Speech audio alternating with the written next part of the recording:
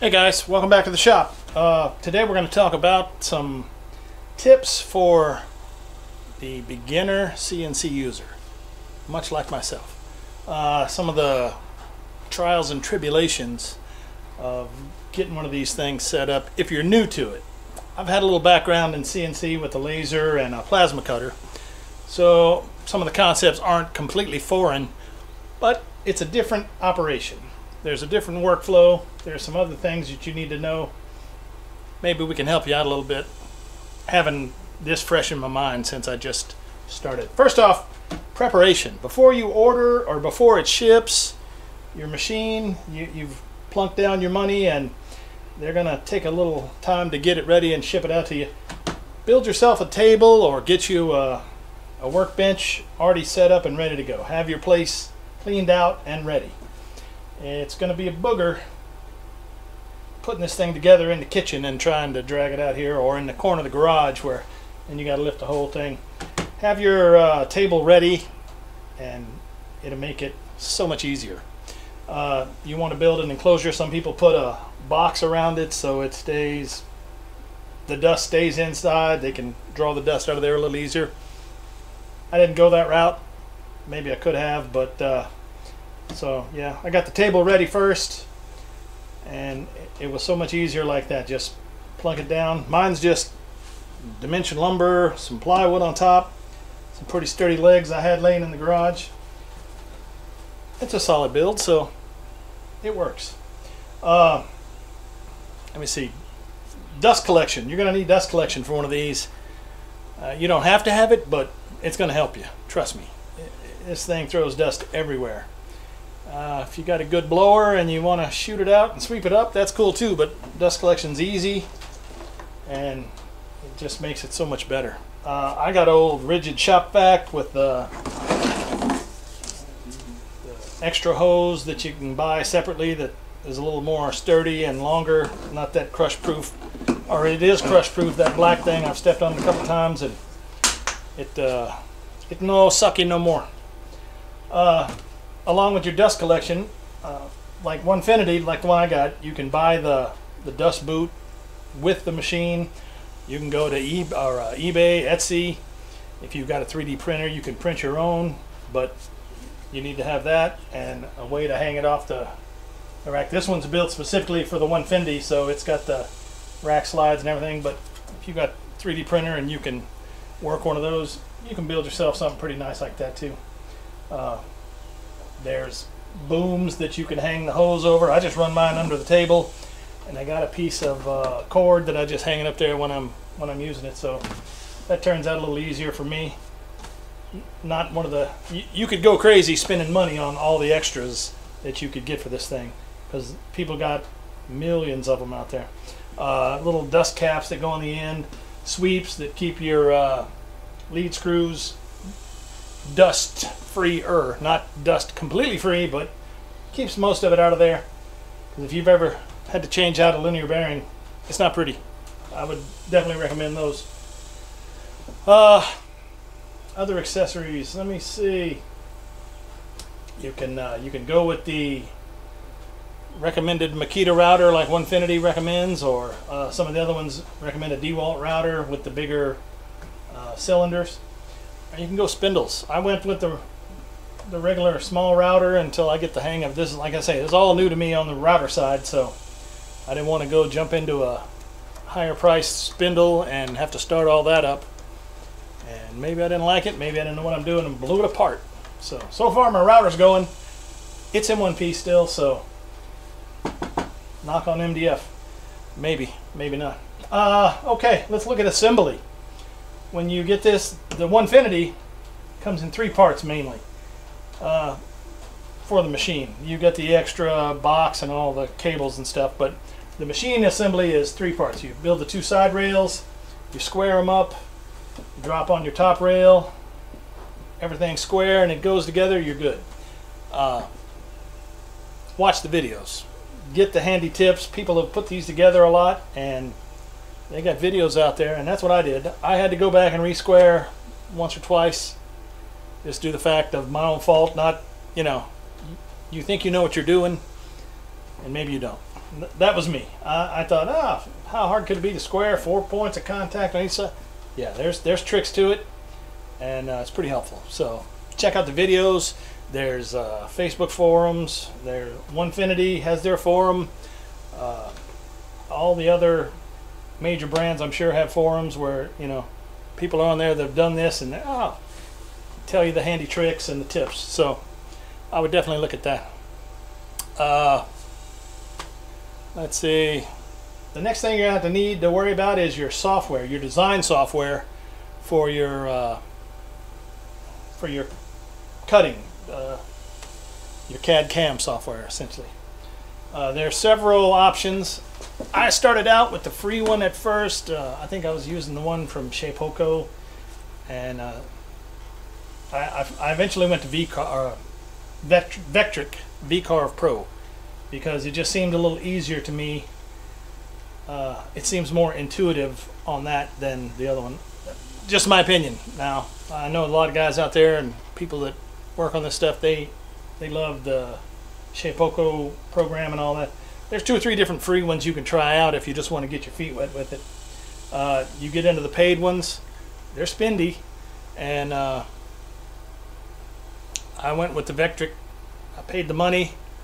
Happy so far with it. It it's uh, it seems to make the steps easier to me. I don't know. I, not that the other ones are bad. It's just I tried them and maybe the Vectric V-carve is closer to what I had for my plasma cutter and stuff, so it seemed a little more sensible to me. Um, the uh, software for the actual machine is built in. It's the OneFinity controller. I think now they've gone to a different. Well, they have a, a newer version and model that's uh, a little more fancy and it, it's different. But this one is pretty easy. It's you know XYZ coordinates, G code, stuff like that. So nothing to it. Uh, if you've got a background in it, if, if not, it's going to be a little learning curve to it. But I mean, that stuff is pretty sensible, you know. X coordinates, Y coordinates, Z coordinates, or X, Y, and Z, and they just work together to carve and cut. So, yeah, that makes sense, huh? Sign language, hand signals. Uh, another thing on the accessories, uh, I would recommend the uh, get the probe so you can uh, get your height and your home position. It's a lot easier. I tried the paper method where you slide the paper under the bit until it doesn't work. It seems to take a lot longer. Put the probe on there and boop, drops in like 10 seconds. You're, you're set to go. Uh, let me see, what else? I got it written down here so I can see. Uh, you'll need bits. Uh, here's another thing on bits. If you're just starting out, start with the mid-range bits. Don't don't go super cheap because those might just break on you, and you never know. That you you can get them out there five dollars a piece, but I haven't tried them. I seem seem to think that you pay a little more and they're going to be a little more solid, I guess. And uh, I've been going with Whiteside bit bits. You get them on Amazon. I'll leave some links down there if you want in the description. They're uh, they're really good. Yeah, I did get this one. It's a surfacing bit, and it's a Chinese model, I think. But uh, it's got replaceable bits. I don't know if you can see that on there. Uh, little carbide bits that you can replace. You know, they get dull on one side, you turn them over, and they got a sharp side on them.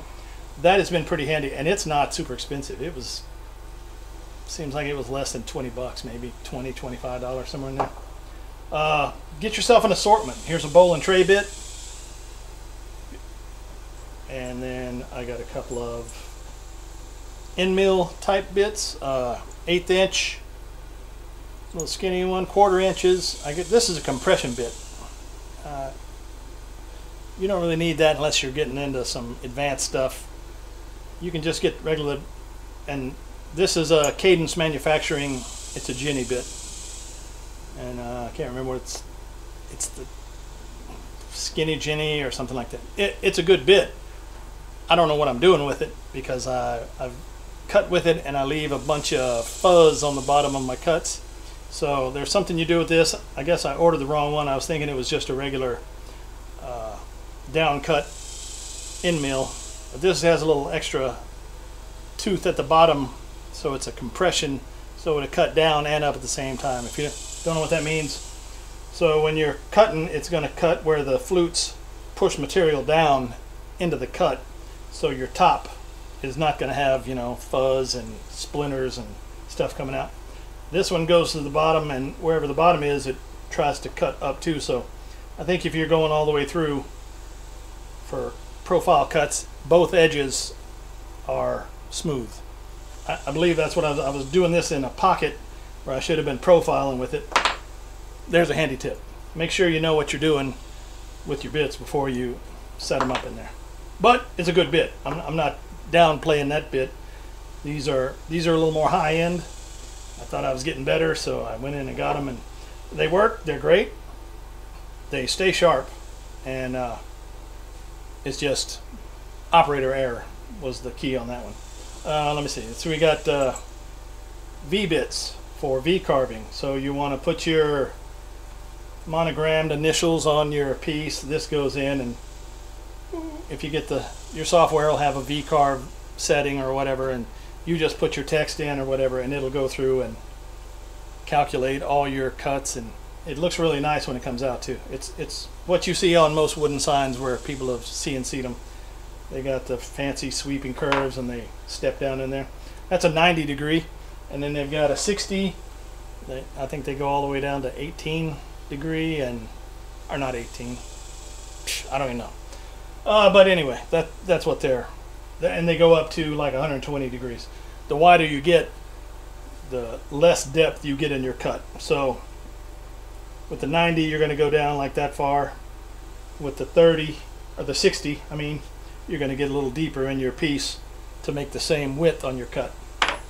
So there you go. Get your bits. You'll need some if you want to get to start cutting. You can order those up. Uh, just make sure your shank sizes match up with your router. I think there's an adapter you can get a half inch in there, but mine's all quarter inch shank, so that's what I do. Uh, practice. I mean, unless you've done something like this before and you're familiar with the software already, you can't just go out and design up a you know intricate carving and put it out there and it's going to look good. Uh, trust me, the first one or two you do, you're going to want to throw them in the trash because they're just hideous looking. But then the more you work, the more uh, refinement you get on your technique. It looks so much better. Uh, last thing, safety. Uh, 16,000 RPM router with a tool steel bit. If you get your finger under there accidentally, it's going to be gone. It'll chew it off. And the weird part is, it almost, you're looking at it as it's carving and you want to be down in there. Oh, that's awesome. And I've caught myself sweeping stuff out of the way so I can see it. And then I think, ooh, that's not where my hands need to be down there. So just keep your common sense about you. It's a cool machine, but it ain't going to slow down for your finger when it runs across a path that your finger's in. Uh, safety glasses. Thing throws a lot of chips too. A lot of chips. Even with the dust collector, you can get flying dust, and if you get the dust in your eyes, it's going to be painful. So, uh, that's about it, man. If you got questions or comments you want to put down, you got the Onefinity. This is the Woodworker X50. If you got it, tell me what you think. Do you like it? I love mine. I mean, I'm nowhere near an expert CNC router user yet. I got a long way to go, but uh, it's fun.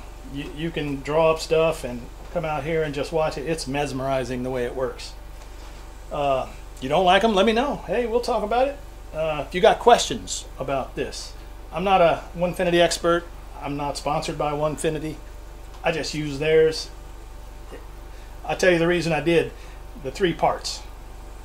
I've seen guys on YouTube videos where they're putting together stuff, Shapeoko. And if you like to do that, cool. I, like to build stuff, but I don't want to spend that kind of time on something that needs to be this precise. And uh, I just wanted to get it and cut. So there you go. Uh, the Onefinity X50 wood wood carver, woodworker. You see, I'm prepared for these videos a lot, huh? No cuts, no edits. That's me, right from the heart. Uh, that applies for pretty much any of them, though. Shapeoko, uh, you, there's all kind of brands. I don't have a preference, one or the other. Like I said, just because it was looked like it was easier to put together. It's fun though. Get you one if you got it. uh, stick with it. it. It's it's tough at first. You you got to really think about stuff, especially in your designs. You've got to get in there and there, there's a certain set of layers you need to do. You want to carve it all first, then your profiles to cut it out of your wood, and it, it just after a while though comes right to you. All right, I hope that helps. If uh, if you like it, let me know. If not, let me know that too. And we'll talk to you later. We'll check you out in the next video. Thanks for coming by. Hope you enjoyed it. Have a good one.